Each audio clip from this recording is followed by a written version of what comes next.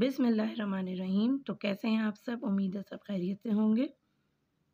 अस्सलाम वालेकुम आज हमारा टॉपिक है memory and types of memory question है हमारे पास define memory and types of memory what is the purpose of main memory memory memory is the storage device inside the computer where data information, program is stored at identified locations and is always accessible.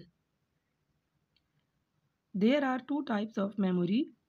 Number one, internal memory and number two, external memory. Internal memory. It is a set of chips located on the motherboard close to the microprocessor. RAM and ROM are the two types of internal memory. External memory. They are physical devices separate from CPU. It uses tapes and disk to store information.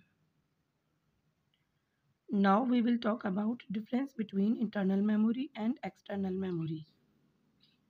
Internal memory is also known as primary storage or main memory. External memory is also known as secondary auxiliary or backing storage. Number 2. It is a set of chips located on the motherboard. External memory are physical devices separate from CPU. Number 3. RAM is volatile memory while ROM is non-volatile memory.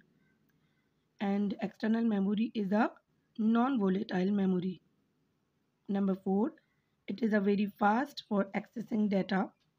And external memory is the slowest form of energy Internal memory's storage capacity is very small as compared to external memory. And storage capacity of external memory CDs and DVD is very large. Registers, RAM, cache are types of internal memory. Hard disk, floppy disk, CV, CDs, DVDs, etc. are some of the examples और some of the types of external memory उम्मीद है आपको हमारी video अच्छी लगी होगी।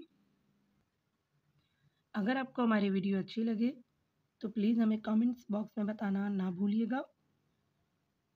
और हमारे चैनल को सब्सक्राइब करना ना भूलिएगा। और साथ में दिया गया ये जो बेल आइकन का बटन होता है, इससे आपको हमारी वीडियोस बिल्कुल फ्री में देखने को मिलेंगी। तो अपना रखिएगा बहुत ज़्यादा ख्याल दुआ में रखिएगा हमें याद। इन मिलते हैं नेक्स्ट वीडियो में नेक्स्ट अच्छे से टॉपिक के साथ इन्फॉर्मेटिव टॉपिक के साथ। तो तब तक के लिए हमें इजाज़त दीजिए। अल्लाह हाफिज़।